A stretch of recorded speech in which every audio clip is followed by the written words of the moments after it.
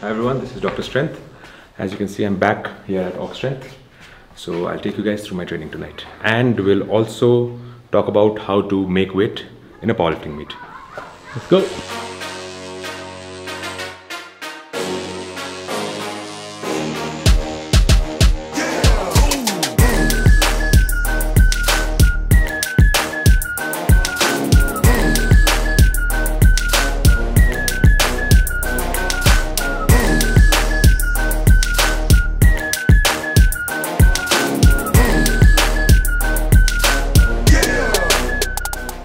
आजको बेन्च चाहिँ was one twenty two point five kilos for sets of five अनि त्यो चाहिँ खासमा डे वानमा थियो त डे वानमा अलिकति प्याक इस्यु भइरहेको थियो मलाई। अनि अलिकति स्क्यापुलर ट्र्याक्सनमा पनि प्रब्लम भइरहेको थियो। अहिले पुरानै यो ब्लकमा बिल्डअप भएको इस्यु हो अलिकति। So we are pushing volume अहिले यति भल्युम त धेरै दिन भयो नगरेको सो सेट्स अफ फाइभमा सिक्स सेट चाहिँ पुगिसकेको छ। So coach is trying to kill me coach त्यो हुनुहुन्छ। अनि त्यसले गर्दा चाहिँ हिजो चाहिँ इस्युलाई अलिकति करेक्ट गरेँ अनि आज इट वाज नट बेटर अनि त्यसले गर्दा चाहिँ आज प्राइमेरी डे वानको चाहिँ आज गरेँ। अनि त्यसपछि त्यति हो बेन्चको लागि चाहिँ। Now will move on to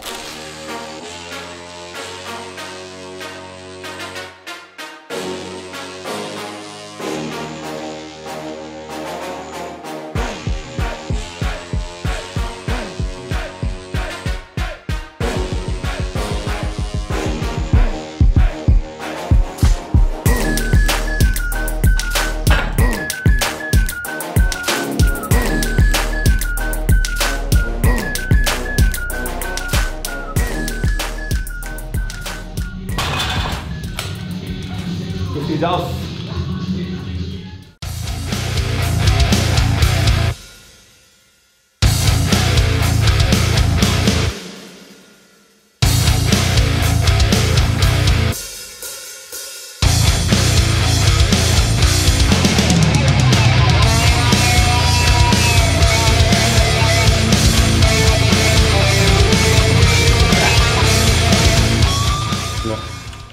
아니 요. त्यही हो first time sumo with the boys यहाँ चाहिँ कहिले सुमो हानेको थिएन लास्ट टाइम पनि मेरो ह्यामस्ट्रिङ इन्जुरी भयो लास्ट टाइम आउँदाखेरि। त्यो बेला कुदेको भएर। त्यो बेला गर्नु सकेन। अप्रिलमा नि मैले गरिनँ क्यारे आई गेस म त थिएन यहाँ गरेछ जस्ट तिमीहरू दुईजनासित चाहिँ फर्स्ट टाइमै हो गरेँ। कस्तो लाग्दो रहेछ यहाँ हावामा? हावामा त भन्नै पर्दैन। यहाँ एकदम पोजिटिभ भाइब्स पोजिटिभ एनर्जी त्यसले गर्दा चाहिँ आरपी एटै फिल भयो आज चाहिँ मलाई नि। आई थिङ्क अझै सुमो बेटर हुनसक्छ। अनि तिन सय हानेछ तिन सय फेरि हाल्नुपर्छ। दुई वर्ष लाग्यो नि सुमोमा दाइले सुमोमा थ्री हन्ड्रेड हानेपछि मन कन्भेन्सनल थ्री हन्ड्रेड हन्ड्रेड हान्छु। तर सुमै पहिला गर्नु बाँकी छ। सुमो चाहिँ अब यो पालि हुन्छ। योपालि त गर्नु गर्नै पर्छ। तर कन्भेन्सनल कि एकैचोटि हो? होइन अहिले त अहिले अब के छ भन्नु न? अब ब्याक अफ छ। टु थर्टी टू पोइन्ट फाइभमा ट्रिपल्स त्यसपछि फेरि अझै ट्रिपल्समा छ। ब्याक अफ सेट्सहरू त्यही गर्ने अब।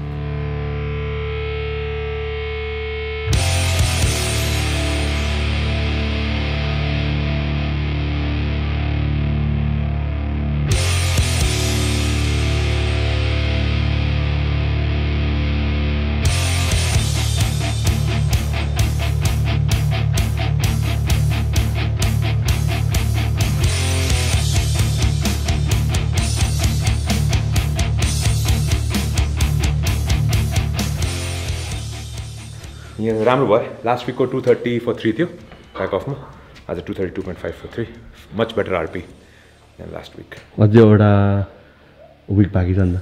टु विक्स होइन हेभियर भल्युम वाइज चाहिँ। भोल्युम वाइज चाहिँ नेक्स्ट विक चाहिँ अब हेरौँ। बाँचिन्छ कि मरिदिन्छ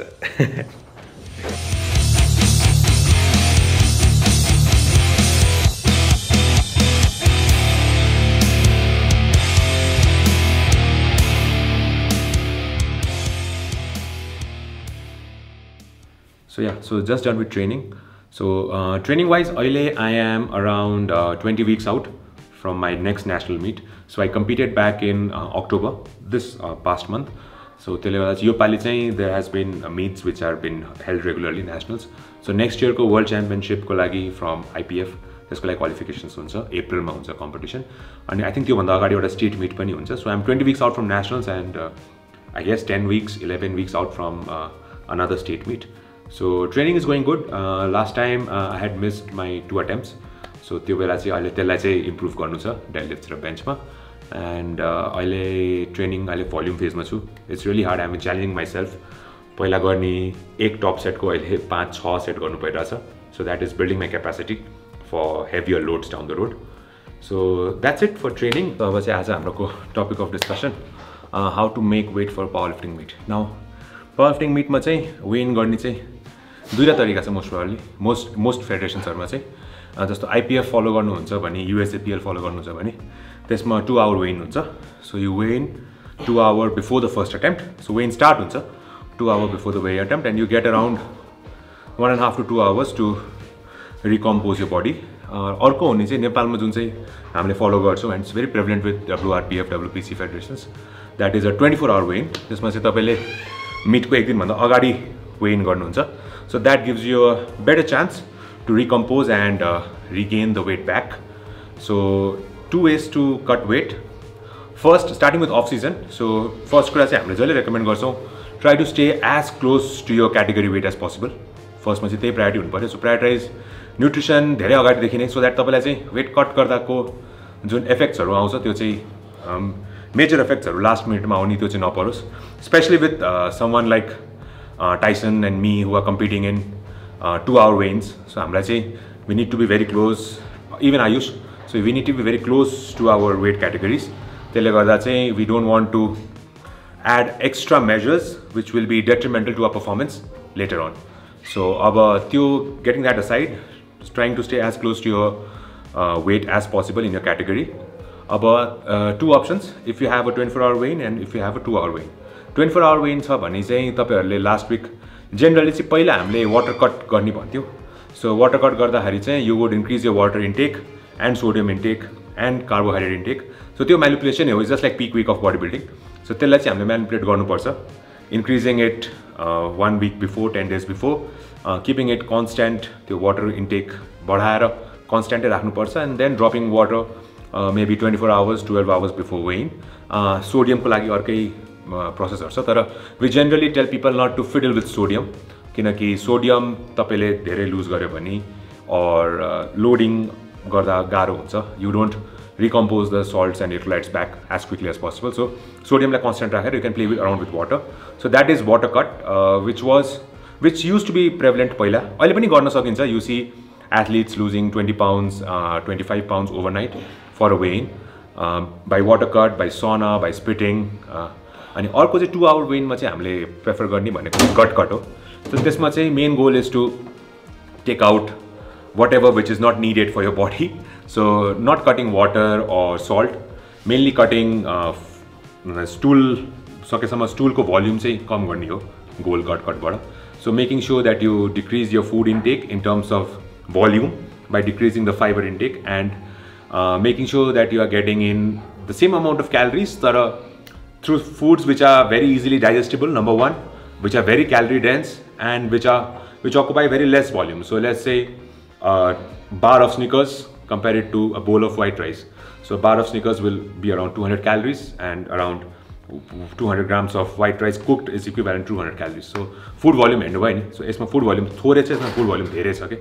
So our goal is to make sure that you're keeping your food volume less. So you weigh in at the time of weigh in तपाईँको weight चाहिँ कम होस् overall food volume घटेर and you can also do this by cutting out veggies and fruits from your diet which are not recommended it's not a healthy way to weight cut तर the goal is to make sure that they are making that weight on mid day so you just make this manipulations one week out one week आउटबाट start गर्न सक्नुहुन्छ if you are very new to cut cut so I would say what we follow is keeping the food same तर cutting veggies and cutting down foods like चिकनहरू Uh, Uh, replacing it with uh, whey proteins, uh, adding whole eggs to your diet. So these are calorie dense, there are full volume.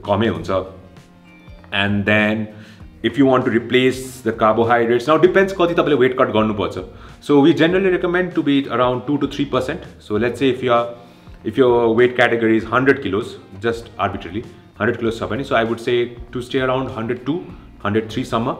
Uh, so that's 2 to 3% of your body weight. And then you can cut weight from there on त्यसरी चाहिँ सजिलो हुन्छ and two hour वेइनमा once you drink back the water and add back food so you can get back to your weight twenty four hour वेन्समा त it's very easy to gain that weight back तर यसको लागि चाहिँ अनि अर्को भनेको चाहिँ gut cut that applies if you can if you are use to मैले अगाडि भनेको प्रोसिड्योर नाउ अलिकति के भन्ने अब a dirty uh way to weight cut is by replacing the foods which are eating पहिला normally with foods such as cereal chocolate bars अनि high dense sugary foods अनि प्रोटिन सोर्समा चाहिँ तपाईँको वे राख्न सक्नुहुन्छ ओलेक्स अनि फ्याट्सको लागि चाहिँ almonds peanut butter so making sure that you're getting the same amount of calories almost the same amount of calories which you would consume on a rest day or on your maintenance phase but making sure the food volume is very low so त्यसले गर्दा यो gut will be almost भन्नाले तपाईँलाई चाहिँ feeling of fullness चाहिँ हुन्छ तर you won't carry the weight of food around so अनि त्यो बेला चाहिँ making sure that you're not taking complex foods like ओट्सहरू भयो स्विट पोटेटोजहरू जुन चाहिँ एकदम फाइबर रिच हुन्छ भेजिटेबल्सहरू भयो. अनि या so give that a try weight कटको बेला. सो दा एउटा क्वेसन आई हेभ सिन मान्छेहरू जसले चाहिँ अब गेमको वान विक बाँकी हुँदाखेरि like almost eight kilos like around almost ten kilos पनि घटाएर मिट गरेर आउँछ। इज द्याट हेल्दी अनि कतिको अफेक्ट गर्छ?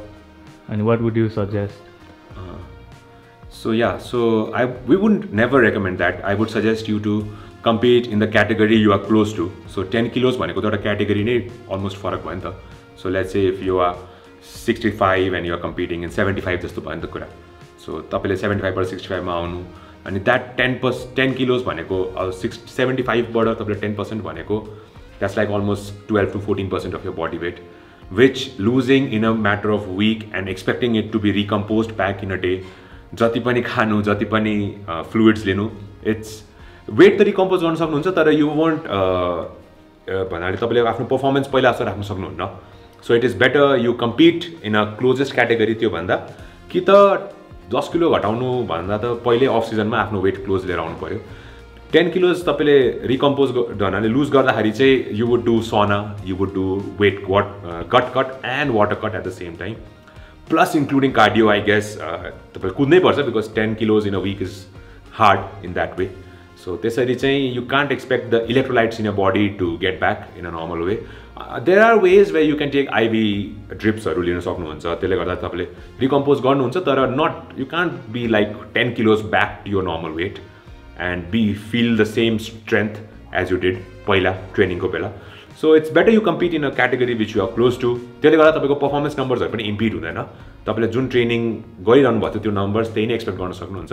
I think we see that a lot with people here कि they expect the strength to be same in two different weight classes तर it's not the same एउटा weight क्लासमा भएर पनि performance भन्नाले मिड डेमा पनि पर्फर्मेन्स तलमाथि हुनसक्छ because of food changes diet changes And uh, if you're adding 10 kilos, that's another stress to your body. So why take that stress, uh, powerlifting? Unless you are very competitive and it's a very tight class. Uh, we don't see that uh, unless it's a 24 hour veins by check they have a way to decompose as well and uh, natural acid or to be honest very gaaro if you want to get this in a more simplified way and in a better planned way you can always contact me on oxstrength and we help We help you to recompose for a way in, uh, prepare you for a way in in a competition along with getting you stronger along the way. So yeah, so यो चाहिँ सर्टमा भनेको if you real if you really interested in about knowing the know how of all the cut cut and weigh ins you can definitely DM us at Oxstrength and we'll be glad to explain it to you. Uh, if you want to join us, you can DM us at Oxstrength.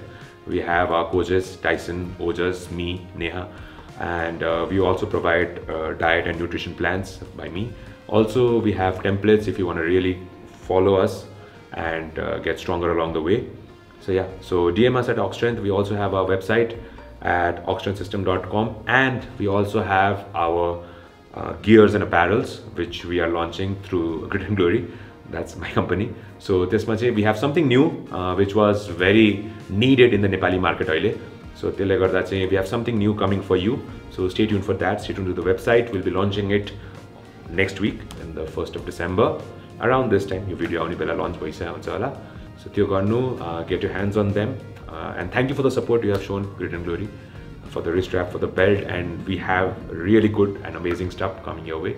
So stay tuned for that.